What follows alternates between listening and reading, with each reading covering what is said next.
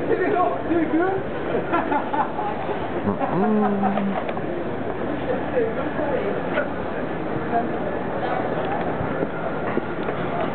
ze tegen, meneer, die 99 procent.